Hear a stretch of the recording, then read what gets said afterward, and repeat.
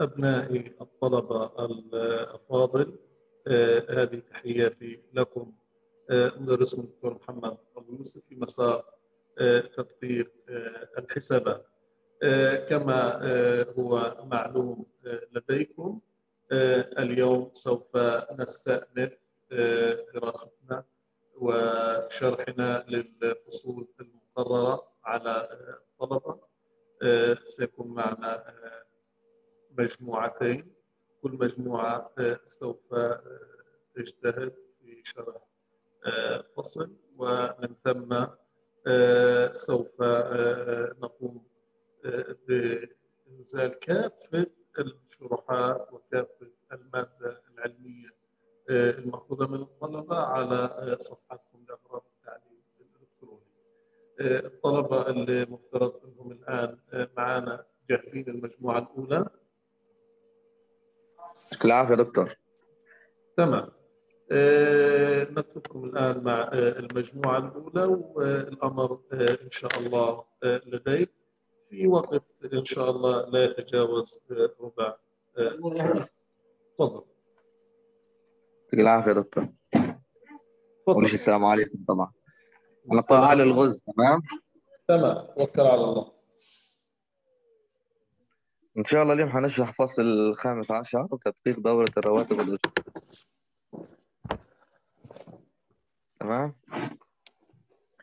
وسوف نتطرق في هذا الفصل على وظائف ومستندات في دورة الرواتب والأجور الرقابة الرقابة الداخلية على رواتب الأجور دراسة وفهم الرقابة الخاصة برواتب الأجور اختبارات الرقابة والاختبارات الأساسية لعمليات رواتب الأجور الإجراءات التحليلية والاختبارات التفصيلية لأرصدة الرواتب والأجور. تمام. تمام. عندنا أول حاجة يعني الفصل تقريبا الوظائف والمستندات المهمة المتعلقة بدورة الرواتب والأجور. عندنا عندنا مهمة توظيف وشؤون العاملين وعندنا وظيفة تحضير كشف الرواتب وعندنا كمان ثالثة وظيفة رواتب والأجور. مهمة التوظيف وشؤون العاملين. هذه تتولاها مين الدائرة. دائرة الموارد البشرية. هي تتعلق بدائرة الموارد البشرية تتولى في عام في عمل مقابلات مثلا مع المقدم بقدمه لوظيفة نعم. يعني بيعملوا بيعملوا مقابلات وعمليات تعيين اللي بيقدموا مثلا وظيفة البيانات تاعتهم اللهم صل على سيدنا محمد. ونموذج استقطاعات الضريبية وضمان الاجتماعية وغيرها ونماذج التصريح بمعدل الأجر المقر من الإدارة. وعندك مهمة التحضير وكشف الرواتب. هذه اللهم صل على سيدنا محمد. إيه، قسم رواتب الأجور بقوم بتحضير كشف الرواتب الخاصة بالعاملين. وبقوم بقدم بتقديم شيك للبنك إيه، في حساب خاص اسمه حساب الرواتب. نعم. تمام. والله صل على محمد وفي عندنا يعني كيف بيحسبوا الرواتب بالنسبة للعاملين؟ عندنا حسب الوقت مثلا. بطاقة. بطاقة.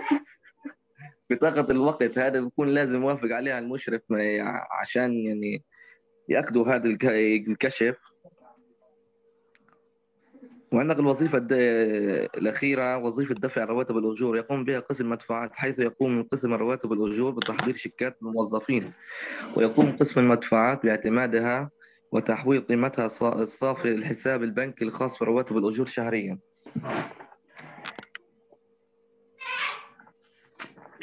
تمام دكتور؟ معك يا أستاذ علي معك خليك جدي واستكمل. تمام. وإذا أنت مش متجهز سلم لعلاء يعني لا جاهز يا دكتور. خليها اللعبة حيسلم بعدين إن شاء الله. تمام ماشي. الرقابة الداخلية على رواتب الأجور. نقول لك لازم ينبغي على المنشأة أن تقوم بإيش؟ بتنظيم بتصميم وتشغيل إجراءات الرقابة المناسبة للحصول على تاكيدات معقولة من تحقيق تأكيدات الاداره الخاصه بالعمليات، وإيش هذه التأكيدات الاداره الخاصة بالعمليات؟ في رقابة الداخلية على رواتب الأجور، عندك أول شيء اولا الحدوث يعني نتاكد نتأكد هل أن العمليات أن جميع العمليات اللي سجلت قد سجلت بالكامل الاكتمال. الاكتمال. يعني هلا آه، حنرجع تاني لنفس موضوع تأكيدات الإدارة. المفروض إحنا في كل موضوع من هذه المواضيع الأصل إنه إحنا صفينا عارفين كيف عملية التطبيق. أول شيء بنبحث عن الحدود مدى حدود الحدث المالي نفسه بنبحث عن الاكتمال.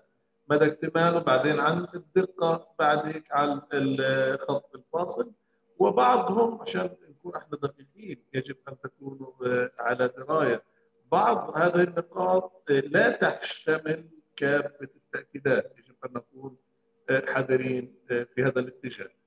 استكمل نعم تأكيدات الخاصة بعمليات الرقابة الداخلية على رواتب الأجور أولا عند الحدوث. الحدوث إيش بتعني؟ أن العمليات المسجلة هي عمليات رواتب الأجور تخص المنشأة. يعني ما تكونش عمليات ثانية أو عمليات لا تخص المنشأة يعني تكون معلومات عمليات قد حدثت بالفعل وسجلت. والثاني أنا الاكتمال أن جميع العمليات التي يجب تسجيلها قد سجلت بالكامل. يعني ما تكونش مثلا تكون عمليات العملية اللي صارت تتسجل بالكامل ما يكونش عندها مثلا نقص في الرقم أو بند معين. الدقة أن جميع العمليات التي التي يجب تسجيلها قد سجلت بالشكل المناسب والقيم الصحيحة يعني أن تكون البيانات هذه التي سجلت تكون دقيقة وغير محرفة. التصنيف أن جميع العمليات التي يجب- تسجيلها. أنا بفضل يا أستاذ علي آه، آه، تدينا لعلاء تمام. تمام يا دكتور. يلا كملنا علاء من المكان. عايز يفوت على الزوم يا دكتور. تفضل. علاء مش موجود.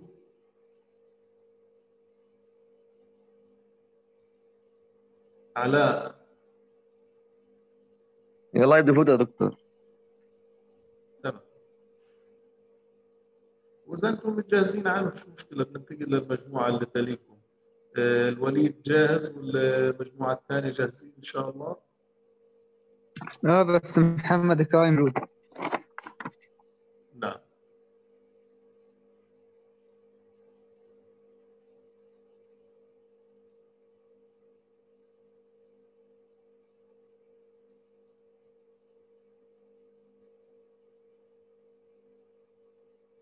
طيب آه، تمام. آه، هي الآن صار موجود معنا علاء معك الدكتور.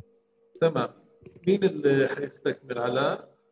آه صحيح يا دكتور. تفضل يا دكتور إحنا لقيت في تدقيق الرواتب والأجور نعم. آه، استخدم المدقق نفس المنهجية العامة التي يستخدمها في تدقيق الحسابات. يعني هو المدقق بيستخدم نفس المنهجية اللي استخدمها في تدقيق أي حسابات أخرى في أي شركات أخرى. وعلى علشان هذا هذا سؤال مهم جدا آه، من الأسئلة بتكون اللي مختصه بالرواتب. بس هنا الاختلاف بيكون انها بتكون مختصة في الرواتب. تاخذ بالك من مسألة. آه، بالنسبة للمنهجية المنهجية يا شباب في كافة أعمال التطبيق؟ الأهداف واحدة. بس حنتخ- نختلف في الأدوات فقط. أما الهدف واحد كل عمليات التطبيق تمام. تفضل يا أستاذ. استكمل.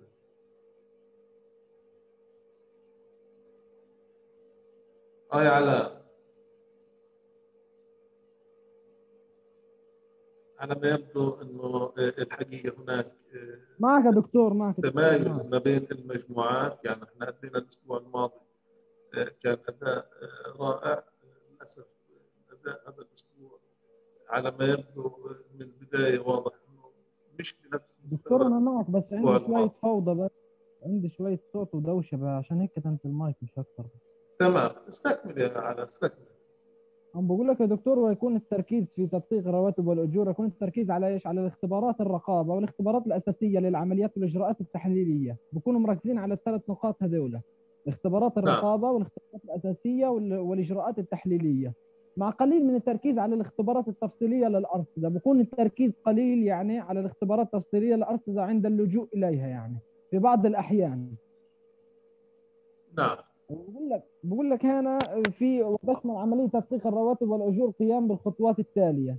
في خطوات للقيام بعملية الت- التدقيق على الرواتب والأجور. اولا فهم الرقابة الداخلية الخاصة بدورة الرواتب والأجور وفي عندنا اثنين تحديد مخاطر الأعمال والمخاطر المتأثرة ومخاطر الرقابة. ثالثا الاختبارات الأساسية للعمليات. رابعا تنفيذ الإجراءات التحليلية. خمسة الاختبارات التفصيلية للأرصدة. هنحكي على كل واحدة منهم بشكل موجز. فهم الرقابة الداخلية الخاصة بدورة الرواتب والأجور. في عنا فيها يعني بعض الأقسام أو بعض يقوم بدراسة المبادئ الأساسية للرقابة الداخلية وتشمل في منها الفصل بين المهام والتفويض المناسب في التوثيق الكافي والحماية المادية للأصول والسجلات في الفحص الداخلي المستقل. الفصل بين المهمات حيث يتحقق المدقق من الفصل بين مهمات دائرة الموارد البشرية. يعني بقوم بقوم مدقق في عملية تدقيق الحسابات الرواتب والأجور فيها بفصل بين مهمات آه، دائرة الموارد البشرية. يعني بحط كل قسم على حدة الرواتب والاقتطاعات وعمليات إنهاء الخدمات. أما التفويض المناسب حيث تفوض دائرة الموارد البشرية بإجراء التعديلات على العاملين. بقوم بالمدقق بعمل تعديلات على العاملين ضمن كشوفات الرواتب. وما يتعلق بهم من رواتب وتعديلات يعني أي شيء بده تعديل على رواتب بعض الأشخاص بقوم بتعديلها مثلا في ساعات إضافية في عمليات خاصة مثلا في له عمل خاص. إجراء خاص يعني بقوم بتسجيله في حساب الموظف على حدة. التوثيق الكافي ان يتم الاحتفاظ بالمستندات والوثائق الخاصة بالعاملين. يعني يكون تسجيل كل حاجة يكون موثقة بشكل كافي وموجز.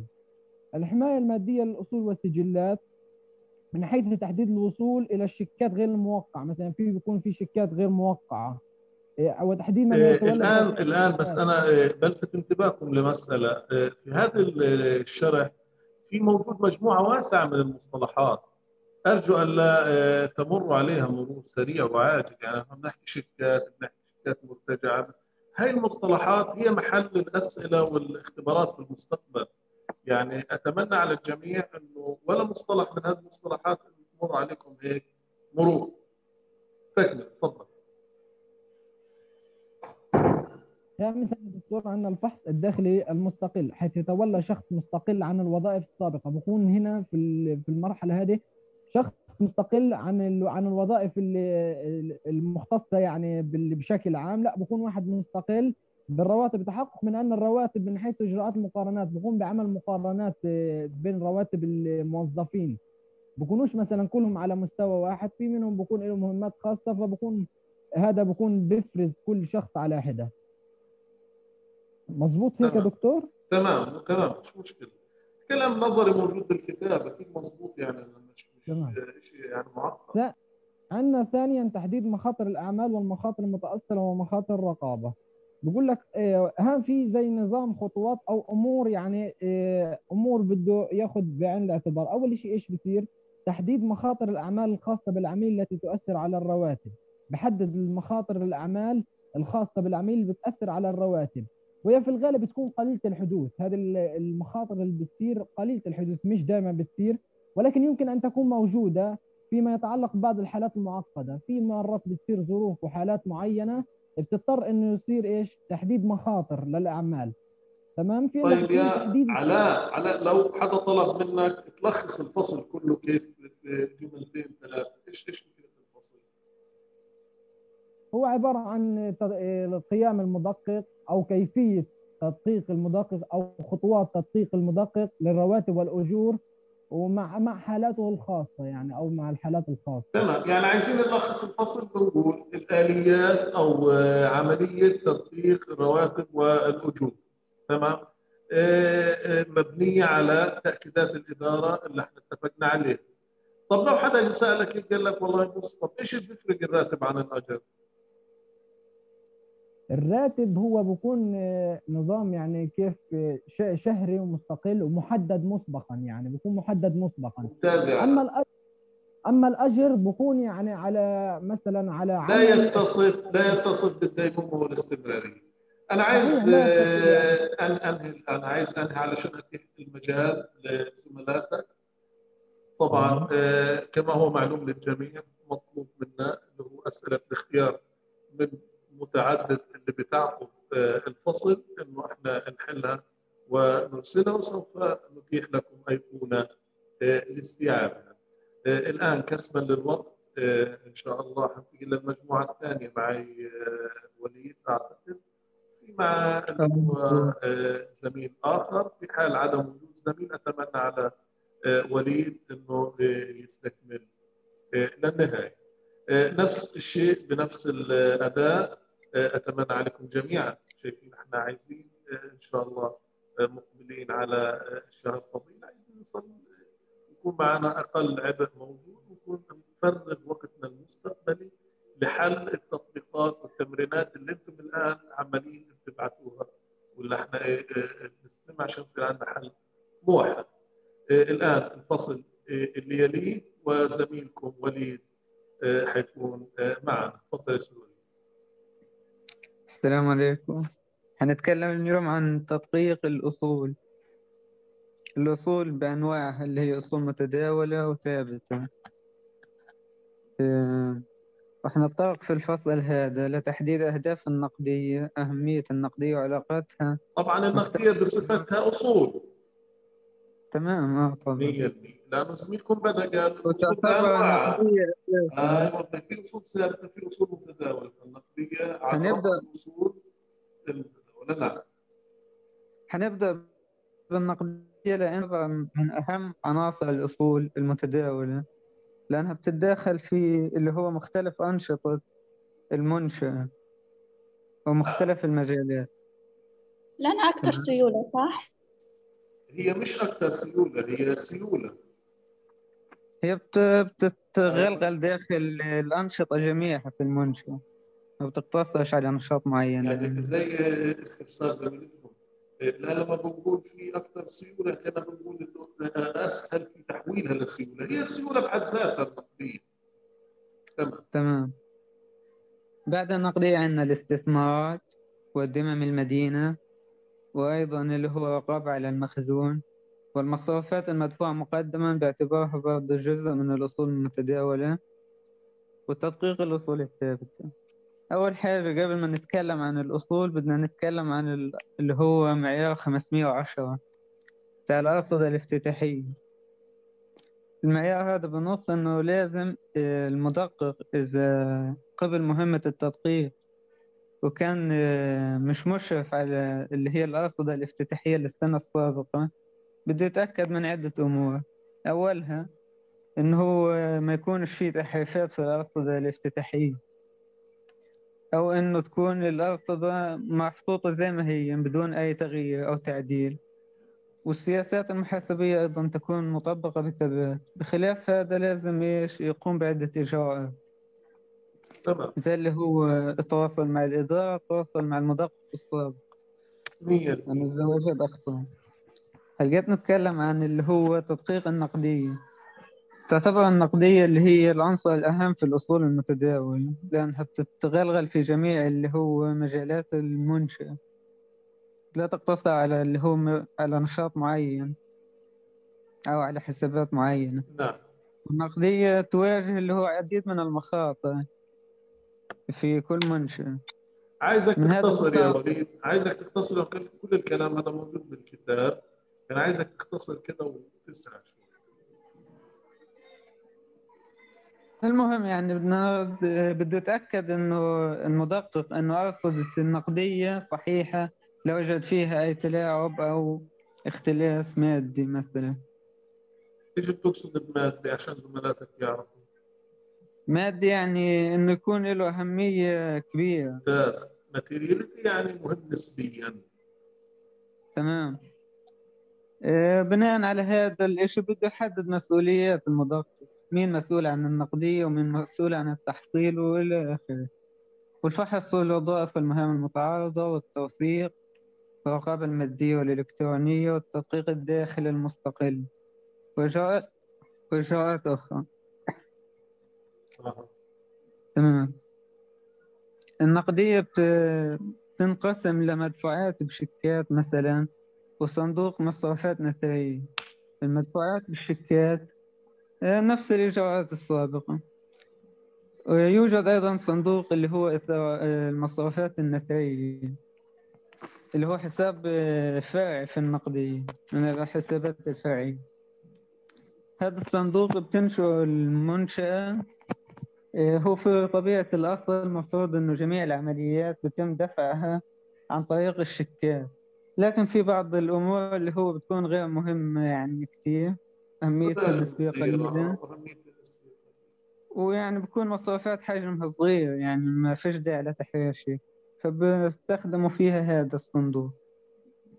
يعني صندوق المصروفات النقدية اللي إحنا عندك هو عبارة عن صندوق مخصص لتغطية نفقات آه، كثيرة التداول كثيرة هذا وقليلة القيمة آه، غير مهمة نسبيا زي مصروف الشاي مصروف الضياء يعني رمزية وبنتعرض لها كل يوم. تمام. تمام. الإجراءات اللي بتتبعها المدقق في حساب النقدية بشكل عام.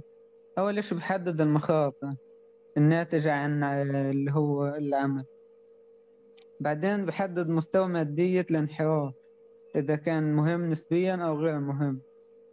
نعم. وبصمم وبنفذ اختبارات رقابة واختبارات أساسية للعملية. بناء على هذا الكلام بيعطي تقرير المدقق حول الحسابات النقدية.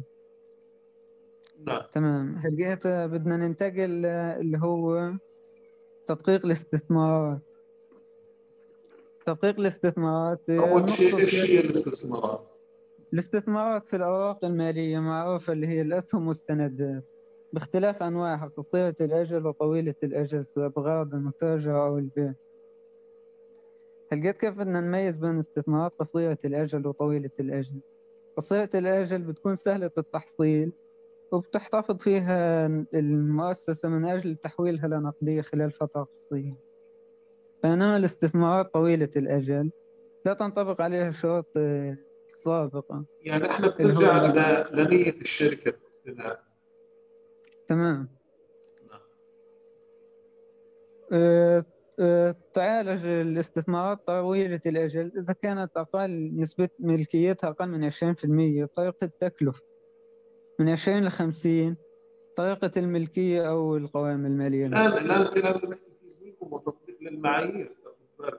تطبيق المعايير. المحاسبة الدولية نعم تمام. آه، هنا يعني نفس الإجراءات آه، للنقدية تقريبا اللي هو بدنا اللي بتبعها المدقق اللي هي يعني مثلا التصريح بشراء وبيع الاستثمارات التأكد منها وظيفة استلام الاستثمارات واستلام الإيداع والإيراد المتحقق منها وتسجيل المحاسب لكافة العمليات وتقييم الاستثمارات. نفس النقدية تقريبا يعني. آه، هلقيت بدنا ننتقل للدمم المدينة تدقيق الدمم المدينة. وهو معروف الدمم المدينة الحساب اللي بينتج عن مبيعات بال بالأجل أو بدون دفع نقدي. بينتج عنا حساب الدمم المدينة. آه، وهذا الحساب بينتج عنه نقدية في الآخر يعني. لازم ينتج عنه اللي هو سداد آه، هذه المدينين آه، تحصيل نقدية تمام؟ بدنا نتأكد من عدة أمور فيها اللي هو بتعطينا الإدارة عدة تأكيدات من الحدوث والاكتمال والوجود للدمم المدينة. وبس هذه هي التأكيدات الإدارة حول الدمم المدينة. نعم. الوجود آه، يعني؟ يعني حنرجع تصوير حنذكر لا؟ لا بس صار واضح لزملائك إنه أنا بمشي على تاكيدات الاداره الحدود. نفس اللي آه. مين زميلك اللي المفروض معك الآن؟ محمد كرايم المفروض يكمل اللي بس طيب في مجال أنت تستكمل لنهايه الفصل؟ حاضر والله باقي الفصل. بس موجود عند ال PowerPoint تمام استعرض لنا إياه بس على شكل نقاط حتى نتم ونترك عهده الزملاء. تمام هلقيته بتكلم عن على تدقيق شكل المخزون عناوين. السلعي نعم. موضوع المخزون السلعي البضاعة آه، حسابها هذا الفصل آه، الحقيقة في بعض العمليات الحسابية اللي تحتاج منا آه، إلى تركيز وفهم ووعي في تداولها المشروحة بالتفصيل في الكتاب ويوجد عليها أسئلة في آه، نهاية الفصل. لذلك أوصيكم جميعا. آه، كواجب إحنا طلبنا أسئلة اختيار متعدد أما كفهم الموضوع يفترض كل واحد منكم آه، لنفسه لذاته إنه يحاول أن يجيب على جميع الأسئلة الواردة. إن شاء الله من الأسابيع القادمة بعد انتهاء المحاضرة الأخيرة المتعلقة بالفصل الأخير سوف نتناول الفصول تباعا ونناقش مع بعض حلول الاسئله. تمام. هذا الفصل أيضا إذا كان زميلكم لا أريد أن أشق عليه زميله مش موجود. نعتبره على ذات الفصول. سأتيح لكم رابط لتسليم الباوربوينت ومن ثم سوف نتيحه لجميع زملائكم في أيقونة واحدة كل الفصول.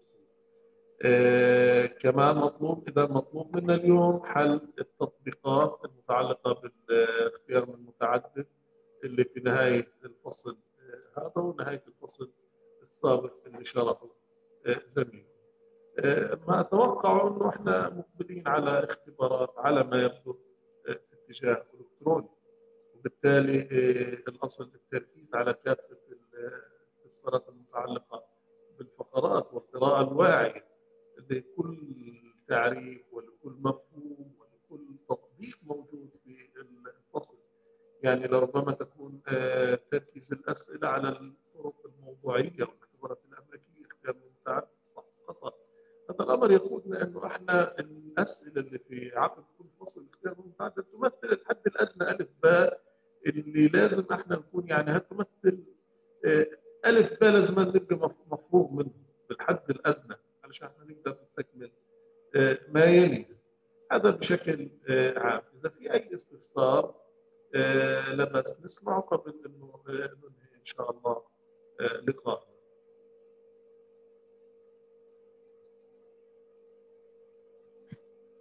سجلت الأسماء ولا كيف؟ إيه سجليهم وبعتيهم يا رب بقصد أنا أسئلة اسئله اسئله دكتور أنا أي أسئلة. المواضيع الذاتية أو الخاصة أو لا تخص العام يعني أرجو أن حكيت دكتور ضل اخر فصل تمام ضايل عنا مجموعة اللي أعتقد أحمد دكتور ضل حكيت آخر فصل تمام؟ الحسن أبو الندى. هيك تقدير المجد أبو الندى. صحيح يا دكتور نعم. صحيح إن شاء الله ما نتمنى أن يكون ختامه مس. يعني قال إن شاء الله. آه إن شاء الله دكتور إن شاء الله. الفصل 17 إن شاء الله. إن شاء الله. بعد ذلك سوف ننطلق إلى حل كافة التطبيقات آه، الموجودة خلال كل في نهايه كل فصل أو عقب كل فصل. طيب آه،. آه، تمام. آه، يعطيكم ألف عافية وكل عام وأنتم بخير. شهر إن شاء الله خير وشهر فضيل. اتمناه لكم وهذه تحياتي لكم مدرس الدكتور محمد في رعاية الله. يعطيك. العافية.